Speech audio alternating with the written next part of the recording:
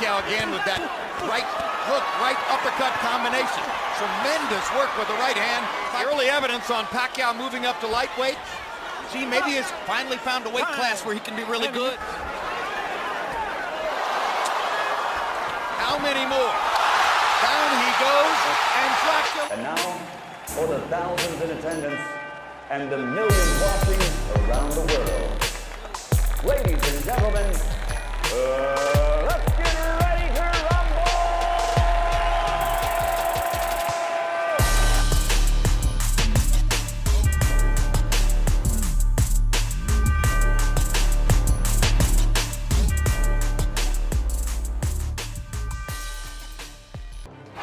a statement here.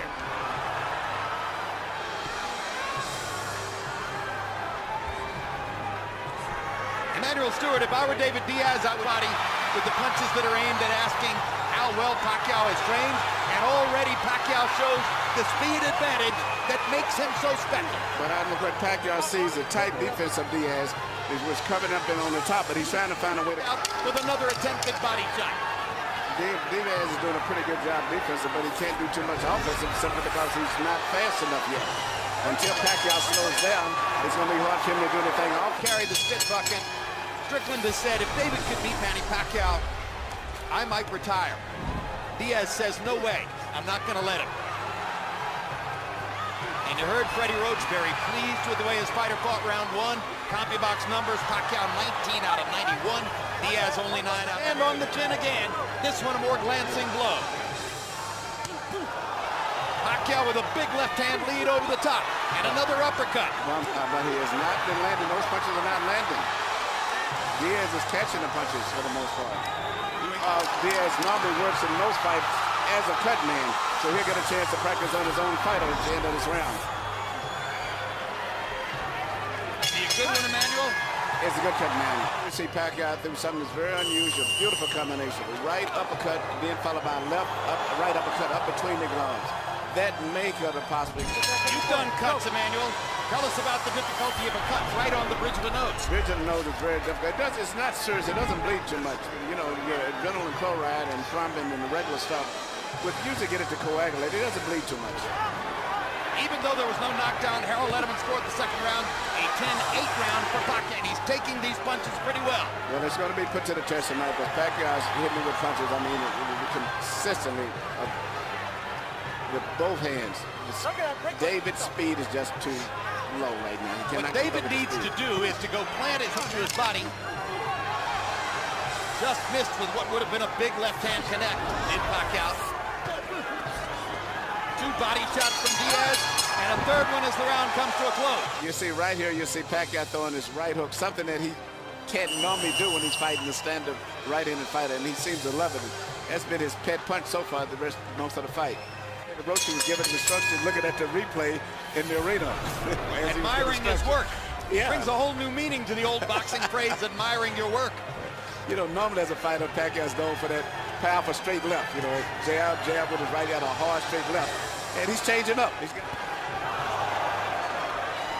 This was one of the possibilities, and because of his blinding speed and major advantages when at distance, Pacquiao would be able to cut Diaz up. but he just can't deal with all the twisting and pivoting that Diaz, I mean, that Pacquiao's putting into the fight also. Diaz's left eye is beginning to swell. Here we see what possibly could have been the cause of the uh, butt, which was a headbutt right there. Well, that created the big cut over the right eye. But it's a moot point whether the cut is created by a butt or a punch at this point because of the violent onslaughts that Pacquiao is mounting. More power punches thrown per round. There's no way you're going to beat him if he's getting off that many shots. It is a brilliant and stunningly effective performance by Pacquiao so far. And Diaz is getting seriously behind because, you know, being that he's not a devastating one-punch knockout. Amazing.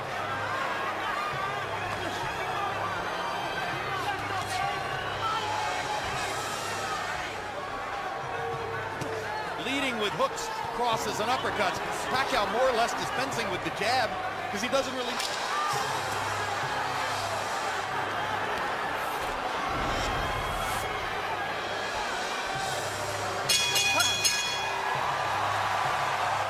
27 out of 56. Emanuel Steward, the layman, not all that familiar with boxing, would look at Diaz's face and say, how can he be allowed to continue under these circumstances?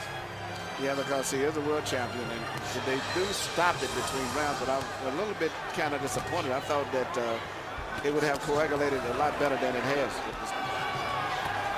They trade jabs in the center of the ring. Again, the dramatic hand speed advantage for Pacquiao, quite visible.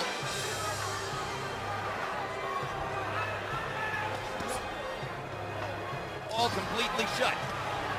But one eye is swelling and the other one is bleeding, and they haven't seemingly stopped the, flow of blood. And as soon as the bell rings, it starts bleeding right away again. It's a big factor in this fight. Pacquiao throwing punches in such a volume, and they're all coming from different angles. He's mixing up, and that's why it's so hard for Diaz to stop the punches because he's not just throwing one punch or two. It's just the speed and the variety of punches is just too much for him. By Diaz, quote, I can handle his punches. He's just too fast. That's the story of what's happened so far. Harold Lederman, how do you have it through six? It six to nothing, 60 to 53, Manny Pacquiao. Maybe I'm being a little bit more generous than I should be. I think there's a lot more 10-8 rounds mixed in there oh, somewhere. But there's a Benjamin, it'll go to the scorecards and it'll win. He can't win it on a TKO. That's correct. Whichever way it goes, he's going to win this fight unless they end up with another disqualification.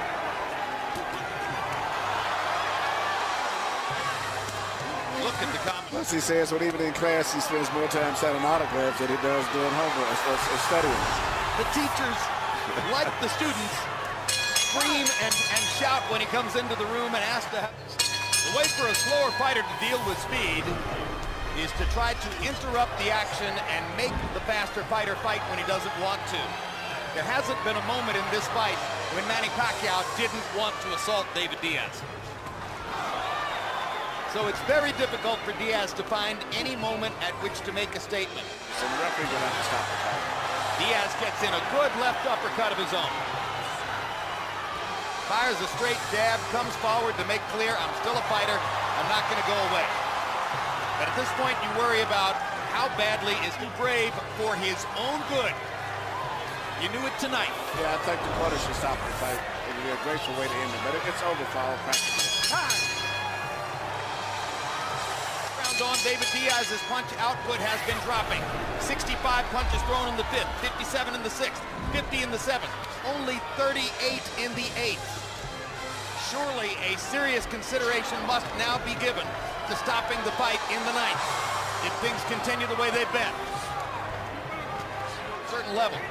He got a lot of publicity before the fight saying, I'm driving a 1991 Honda with no air conditioning. He's going to get a chance to buy a new car. Well, he might end up with a million dollars from these fights, which is a good paycheck. And how many more? Down he goes, and Drakulich stops the fight. He should have never got to that.